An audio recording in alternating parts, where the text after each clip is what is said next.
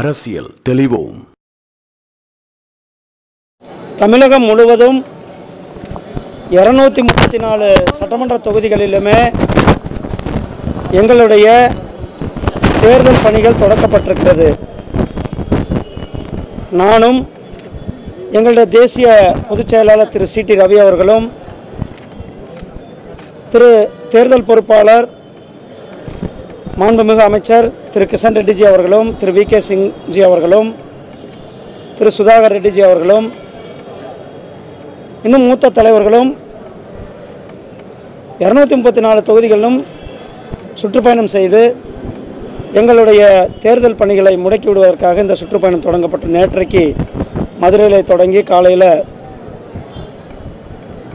நாகர்கோவில் சட்டமன்றம் தற்பொழுது திருநெல்வேலி சட்டமன்றம் நான்கு ஐந்து நிகழ்ச்சிகள் இதன் மூலம் நடத்துவதாக திட்டமிடப்பட்டிருக்கிறது. ஒன்று ஒரு ரோட் ஷோ.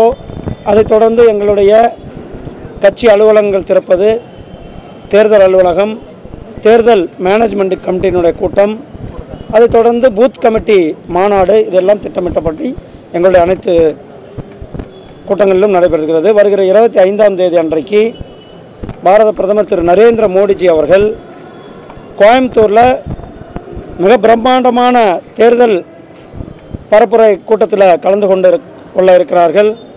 அதற்கான ஏற்பாடுகள் செய்யப்பட்டு பணிகானது நடந்து கொண்டிருக்கிறது. அதைத் தொடர்ந்து இருபத்தி எட்டாம் தேதி அன்றைக்கு மரியாதைக்குரிய உள்துறை அமைச்சர் திரு அமித்ஷி அமித்ஷாஜி அவர்கள் கலந்து கொள்ளக்கூடிய தேர்தல் பிரச்சார கூட்டம் விழுப்புரத்தில் நடைபெற இருக்கிறது. அதற்கான பணிகளும் தொடங்கப்பட்டிருக்கிறது. தொடர்ந்து எங்களுடைய தேசிய தலைவர்கள் தமிழகத்தில் தேர்தல் பிரச்சாரங்கள் செய்ய இருக்கிறார்கள் என்பதையும் உங்களுக்கு சொல்ல சொல்லிவிட்டு எங்களுடைய இலக்கு தமிழ்நாடு பாரதிய ஜனதா கட்சியின் சார்பில் எங்களுடைய சட்டமன்ற உறுப்பினர்கள் இரட்டை எண்ணிக்கையில் சட்டமன்றத்தில் அமர்ந்திருப்பார்கள். அதற்கான பணிகளும் தொடங்கப்பட்டிருக்கிறது. ஆகையால் நாங்கள் எங்களுடைய இலக்கை நோக்கி நகர்ந்து கொண்டிருக்கிறோம். கூட்டணி பேச்சுவார்த்தை கூடிய சீக்கிரமே துவங்கும். இல்லைங்க இது வந்து எங்களுடைய பாரதிய ஜனதா கட்சியினுடைய அலுவலகம். இரநூத்தி முப்பத்தி நாலு சட்டமன்ற தொ- தொகுதிகளிலும் வேலை செய்கிறோம் இது எங்களுக்கும் பலன் கூடியது கொடுக்கக்கூடியதாக இருக்கும். எங்களுடைய கூட்டணி கட்சிக்காரர்களுக்கும் பலன் கொடுக்கக்கூடியதாக தான் இருக்கும். அப்படி இல்லையே இரநூத்தி முப்பத்தி நாலு தொகுதிகளிலும் தான் நாங்கள் சுற்றுப்பயணம் பண்ணுறோம் இல்லையே இன்றைக்கு எங்களுடைய திரு சி. டி. ரவி அவர்கள் மேட்டுப்பாளையத்தில் தங்களுடைய கூட்டத்தை தொடங்கி இருக்கிறார்கள் அதே போல் நாமக்கல்லில் கூட்டத்தை தொடங்க இருக்கிறோம். இது மாதிரி நாங்கள் தமிழ்நாடு முழுவதும் தான் தொடங்க இருக்கிறோம். இரநூத்தி முப்பத்தி நாலு தொகுதியிலுமே எங்கள் பிரச்சாரத்தை அதான் சொன்னேன் இரநூத்தி முப்பத்தி நாலு தொகுதியிலையும் நாங்கள் எங்கள் ப பயணத்தை தொடங்கி இருக்கிறோம்னு சொன்னேன். இல்லைங்க இளைஞர் அணி மாநாட்டுக்கு பிறகு அனைத்து மாநாடுகளும் ஒத்தி எல எலெக்ஷன்றதுனால ஒத்தி வைக்கப்பட்டிருக்கிறது. அதனால் மகளிர் அணி மாநாடோ அல்லது பட்டியல் அணி மாநாடு விவசாய மாநாடுகள் நடைபெறாது.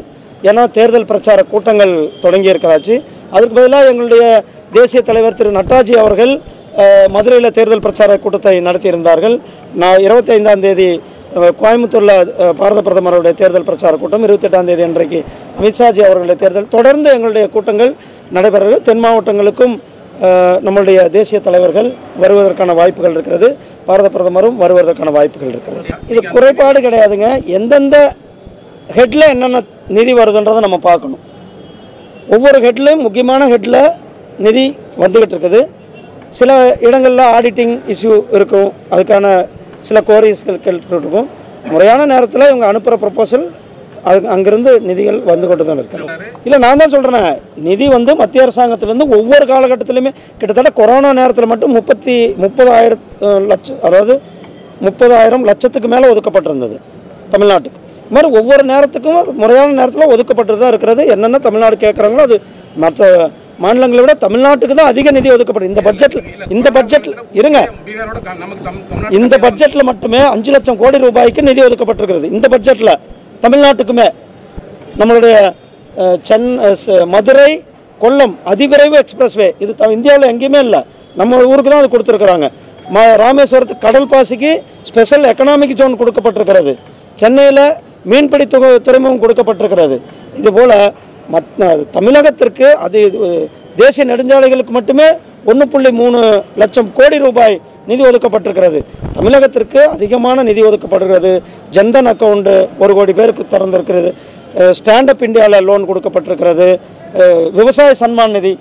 கிட்டத்தட்ட நாற்பத்தி ஒரு லட்சம் விவசாயிகளுக்கு வருடத்திற்கு ஆறாயிரம் ரூபாய் அவர்களுடைய அக்கௌண்ட்லேயே போடுறோம். அதனால் தமிழகத்திற்கு அதிகமான திட்டங்களையும் செயல்படுத்தினா தமிழகத்தினுடைய நிதியையும் நிறைய குறை அவர்களுடைய சரியான நேரத்தில் பீரியாடிக்கலாக வந்துடும் தமிழ்நாட்டிலிருந்து உங்களுக்கு தெரியும் ஏற்கனவே நிர்வாகிகள் போட்டிருக்காங்க. இது ஆல் இண்டியா இன்ஸ்டியூட்டுங்க இல்லைங்க நிர்வா இது வந்து எய்ம்ஸ்ன்றது ஆல் இண்டியா இன்ஸ்டியூட் தமிழ்காரங்க எவ்வளோ பேர் டெல்லியில் வேலை செய்கிறாங்க தமிழ்காரங்க எவ்வளோ பேர் யூபியில் வேலை செய்கிறாங்க தமிழ்காரங்க எவ்வளோ பேர் ராஜஸ்தானில் வேலை செய்கிறாங்க தமிழ்நா தமிழ்காரங்க எவ்வளோ பேர் பீகாரில் வேலை செய்கிறாங்க இது வந்து எல்லாருமே இது வந்து ஒரு மத்திய அரசாங்கத்தினுடைய நிறுவனம்.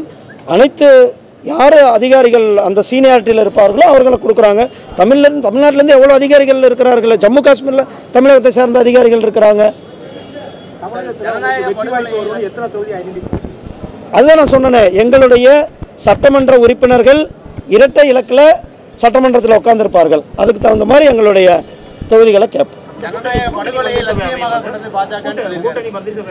அதெல்லாம் தேர்தலுக்கு பிறகு அதெல்லாம் தேர்தலுக்கு பிறகு எங்களுடைய அகில இந்திய தலைமை முடிவு பண்ணுவாங்க. அவர் வந்து ஜனநாயகத்தை பேசுறதுக்கு ஸ்டாலின் அவர்களுக்கு எந்த அருகதையும் கிடையாது. அவருடைய கட்சி எம்எல்ஏவை தக்க வச்சுக்க முடியல. அதாவது அங்கேயும் சரி நம்ம ஊர்லேயும் சரி. அவங்க எம்எல்ஏக்கள் ஏன் வெளில வர்றாங்க? அவர்களுடைய செயல்பாடுகளில் திருப்தி இல்லை. அவர்களுடைய குடும்ப ஆட்சி அவர்களுடைய இந்து கடவுளுக்கு எதிரானவர்களாக சித்தரிக்க இது இந்து கடவுளுக்கு எதிராக பேசுகிறாங்க இந்த நாட்டினுடைய வளர்ச்சிக்கு எதிராக பேசுகிறார்கள். அதனால் அவர்களுடைய எம்எல்ஏக்கள் தான் வெளில வந்திருக்கிறாங்க. அது அவருடைய இயலாமை. இல்லை ஏற்கனவே அவங்களுடைய எம்எல்ஏவெல்லாம் வெளியில் தானே வந்திருக்காங்க. நான் வாய்ப்புன்னு சொல்லி அதை எங்களுடைய ஆல் இந்தியா தலைமை முடிவு பண்ணுவாங்கன்னு தான் சொன்னேன். எங்களுடைய ஆல் இந்தியா தலைமை அதை பற்றி யோசிப்பாங்கன்னு தான் சொல்லியிருக்கிறேன். ஏங்க கடந்த அஞ்சு வருஷமாக நீங்கள் பாருங்கள் எங்கே ஒரு சின்ன பிரச்சனை கூட இல்லை. கடந்த அஞ்சு வருஷம் எந்த பிரச்சனையும் இல்லாமல் காவிரி தண்ணீர் வந்து கொண்டு இருக்கிறது இப்பயும் வந்துகிட்டு இருக்கிறது. அப்படி ஏதாவது பிரச்சனைகள் வரும்போது தமிழகத்தில் நலன் சார்ந்து பாரதிய ஜனதா கட்சி செயல்படும்.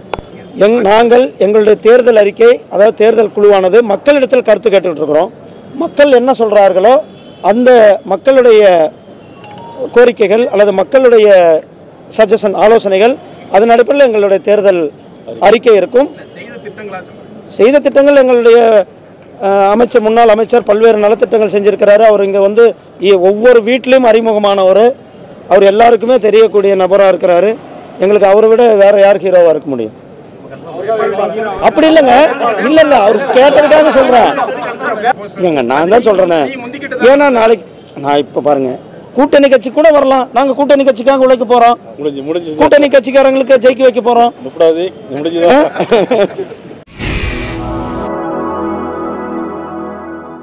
அரசியல் தெளிவோம்.